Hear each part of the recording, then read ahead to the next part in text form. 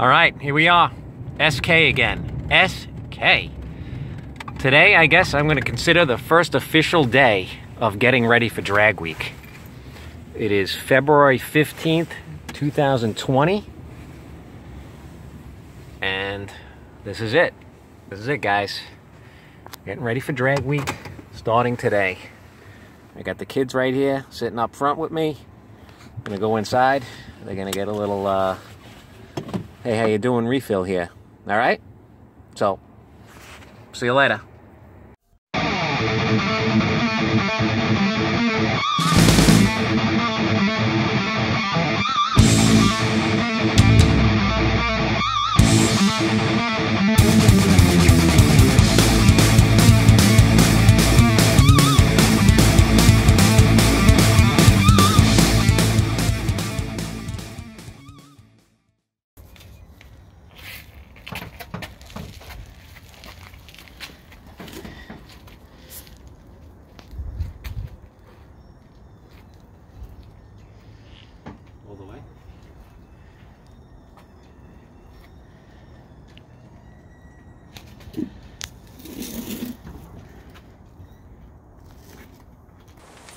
All right, guys, we're gonna we uh, working on the car today.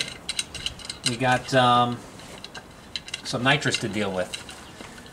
We're actually gonna um, just take a look at the tune-up on this, um, because after reviewing some of the data logs during drag week, um, you know, the car was adding, you know, the computer was adding a lot of um, fuel during the runs, and um, I just want to double check. We're to flow this nitrous plate and um, you know get a, get a new calculation and just make sure we're on with the uh, you know the added fuel for this thing because it is a dry dry nitrous setup. So um, that's what we're going to do today. All right. Once once we get the um, the plate flowed, we're going to do it twice. Um, get the average. See see how much nitrous is actually um, we're actually using. You know, per run, and um, we'll be able to figure out this number here. So right now, during drag week, I had it adding 58 pounds per hour of added fuel when the nitrous was activated. Um, but in my data log, in order to meet my target air-fuel ratio of 12.8, it was adding up to 20%. So it was adding 20% more fuel to meet that 12.8 uh, air, air fuel ratio which I mean it's it's okay, but that's the max that I have this thing set to to correct. So I mean I got kind of kind of lucky, you know. It was you know right on the line there where um, you know if it needed any more fuel and you know the system is only set to add you know up to 20% and it couldn't you know it, it could have damaged the engine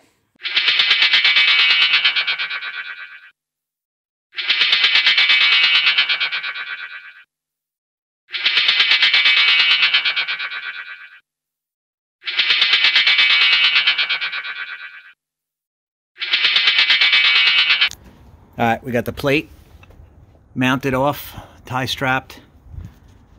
So when we actuate this, it's going to be done through the Holley software for 10 seconds. The plate's probably going to lift a little bit like that. And it's going to come out of the perimeter. We time that for 10 seconds after we weigh the bottle.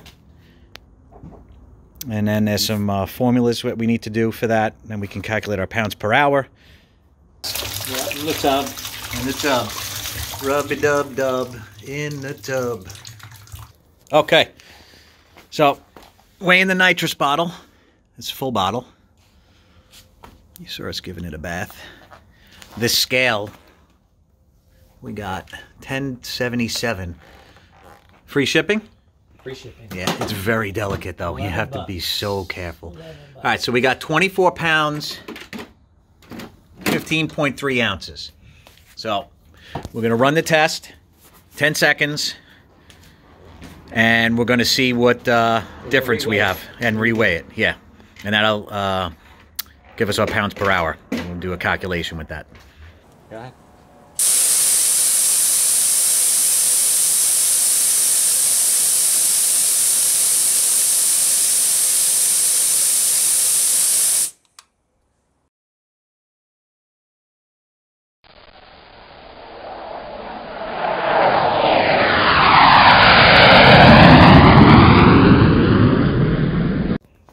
Weighing it. So for 10 seconds, What we got? 23 pounds, 2.8 ounces. It was at 9, but then it shifted to 8.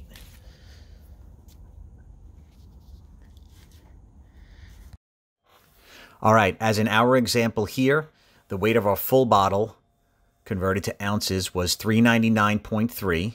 The weight of the used bottle after the 10 seconds was 370.9 ounces. So we take the 399.3 minus the 370.9 and we get 28.4 ounces. Convert that back to pounds and we got 1.775 pounds in 10 seconds. This 10 seconds has nothing to do with your ET or anything. This has to do with the math and making it easier to get pounds per hour. So if we take the 1.775 times 6, we get pounds per minute, and then times 60, then we get the pounds per hour, which is 639 pounds per hour in our case. You can shortcut this by multiplying 1.775 in our case times 360, and that will give you the same result. Then you need to convert the pounds per hour to a usable number for the Holley fuel enrichment table. You have to use nitrous to fuel ratio, not to be confused with air fuel ratio. You can use this anywhere between 7 and 12. We chose 10, so 639 pounds per hour divided by 10 is 63.9. Rounded up to 64, that's the number we're going to put in there. As you can see in our chart, we were actually pretty low, and that's why the system was adding uh, more fuel to get to that point. Also, your base map should be spot on, correcting as little as possible, 5% plus or minus. It will just make this work a lot easier. Drag Week.